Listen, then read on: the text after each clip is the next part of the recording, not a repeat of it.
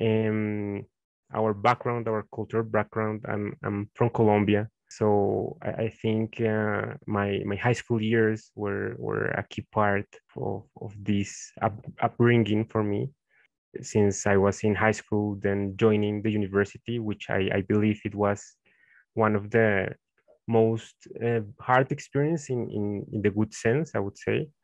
But uh, it was really worth it to go through it.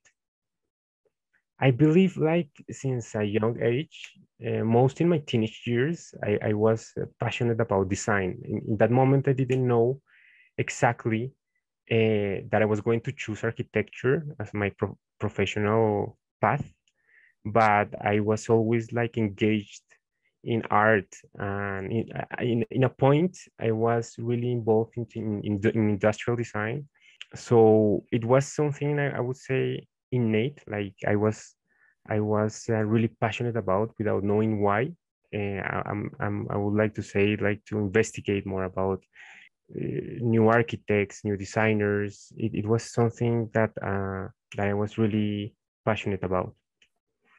The responsibility that I have towards my profession, it's a it's a really uh, big core value in in every sense, like in a in a professional way, and and this has pushed me towards, as I was saying before, towards investi investigating and comparing um, in, in every aspect of architecture, right? If you have the opportunity to, um, to study other architects, to study processes, right? Uh, this gives you a really good value when you are going to start designing.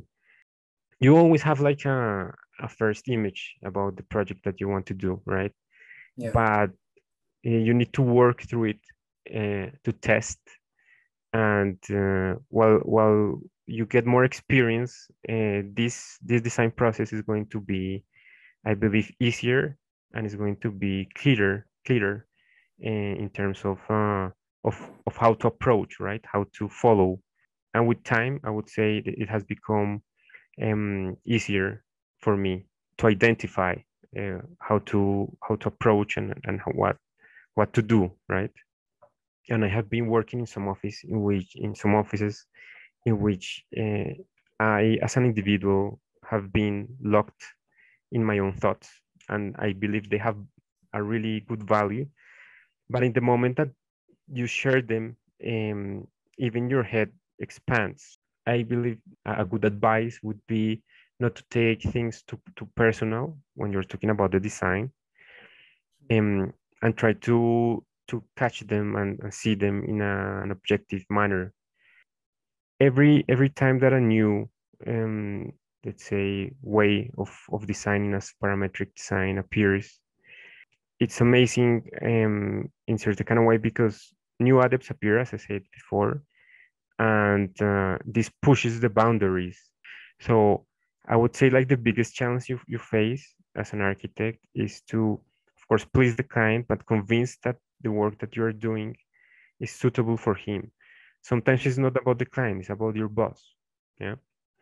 Uh, the biggest uh, challenges is is to to please him and at the same time you be satisfied with what you're doing. I, I would say I would say is is, is that yeah. Uh, try to pursue the practices that you feel attracted to. Uh, try to compare yourself uh, try to to not only to be the best but to experiment don't, don't be afraid to to be wrong I, I know it sounds a little bit like a cliche but don't, don't be afraid to um, to experiment in each phase in, in this way you will start to develop a sense of what you really like what you really will like to to be involved in try to see your peers that are uh, older than you and try to check what they are doing, uh, who are they involving with, uh, and try try to imagine a path, and for sure uh, be involved in internship in in competitions.